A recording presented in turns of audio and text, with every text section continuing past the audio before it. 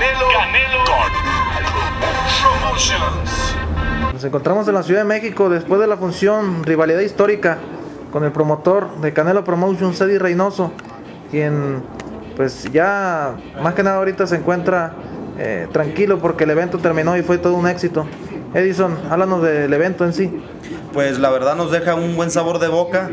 Eh, todos los boxeadores que representamos ganaron. Eh, Saúl muestra cada día más avances.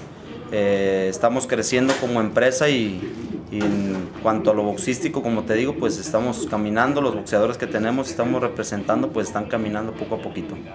Saúl es un muchacho que mostró madurez y mostró punch también.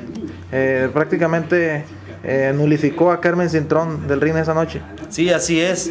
Está mostrando, como te digo, avances. Estamos practicando una serie de cosas. Algunas salen, algunas no están saliendo, pero pues yo creo que vamos en el camino correcto. Estamos trabajando fuerte, con los pies bien puestos en la tierra, en lo que queremos y sobre todo si, con las mismas ganas de trabajar.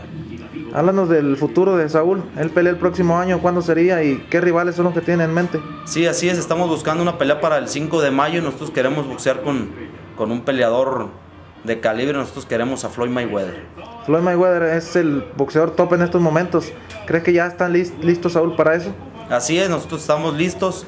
Este, así lo demostró el, el- en la pelea pasada Juan Manuel Márquez, que se estaba hablando que Pacquiao era el libra por libra y un boxeador de 38 años está dando la, está dando la cara por el boxeo mexicano y este y hace hace constar que estamos en un que estamos en un en una etapa de donde se está está inflando demasiado a los boxeadores como Manny Pacquiao que, que los tienen todos como un como un monstruo. Yo creo que un peleador de 38 años por por más bueno que sea yo creo que ya en esa en esa época de la de la edad yo creo que ya ya debe de haber bajado su rendimiento.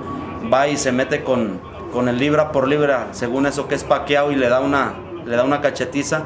Nosotros creemos que Saúl con su juventud, con, su, con sus cualidades boxísticas, estamos listos para ir a pelear por, por cualquier boxeador de esos, porque pues así lo, lo hizo constatar Juan Manuel Márquez, que desnudó el nivel boxístico que realmente hay ahorita en la elite.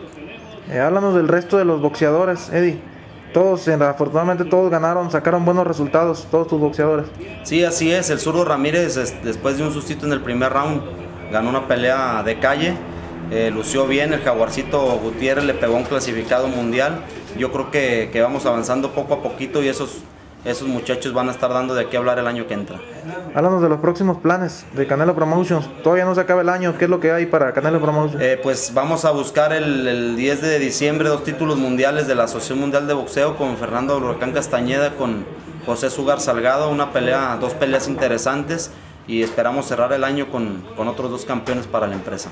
¿Algo que te gustaría agregar, Eddie? No, pues estamos agradecidos con toda la prensa, con toda la gente que, que asistió en buen- número con el Consejo Mundial de Boxeo, que siempre nos ha echado la mano con todos los patrocinadores y más que nada con el equipo que traemos, que, que pues poco a poco nos estamos consolidando.